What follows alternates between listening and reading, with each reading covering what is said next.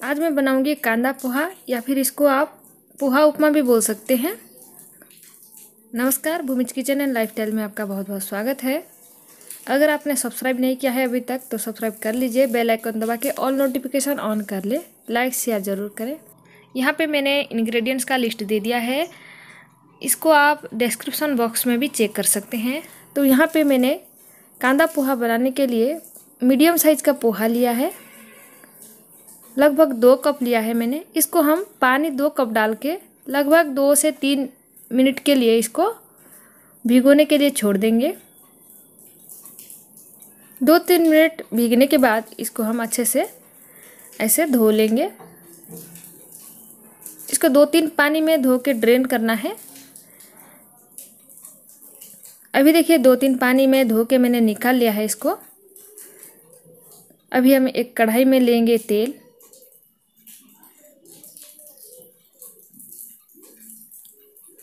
इसमें थोड़ा सा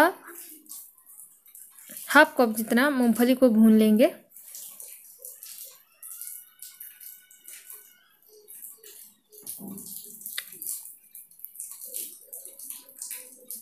मूंगफली हमारा हो गया है रोस्ट, इसको हम निकाल लेंगे एक प्लेट में।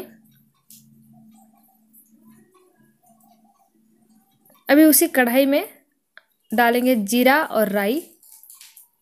जीरा राई आपको हाफ़ हाफ़ चम्मच लेना है। अभी इसमें कटा हुआ प्याज डालेंगे। मैंने एक प्याज कटा हुआ लिया था इसमें। प्याज थोड़ा सॉफ्ट होने के बाद इसमें हम डालेंगे टमाटो। बारीक पीसेस में काटना है आपको।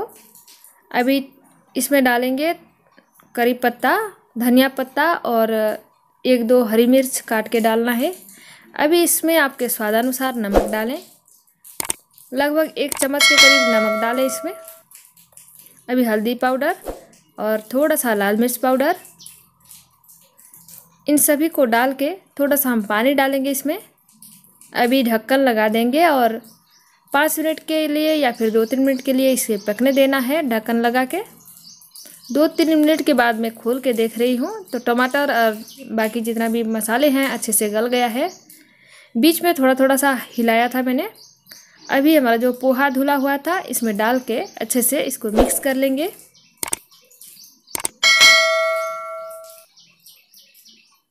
अभी ये मिक्स करने के बाद आपका जो पोहा उपमा या कांदा है, कांदा पोहा जो है, ये रेडी है खाने के लिए। आप चाहे तो ब्रेकफास्ट में खा सकते हैं या फिर इवनिंग स्नैक्स में।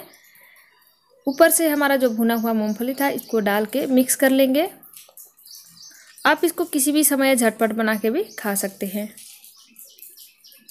और ऊपर आ रहे पेज पर आप दूसरे रेसिपी वगैरह देख सकते हैं या फिर डिस्क्रिप्शन बॉक्स में चेक कर सकते हैं। वीडियो अगर पसंद आए तो एक लाइक करें।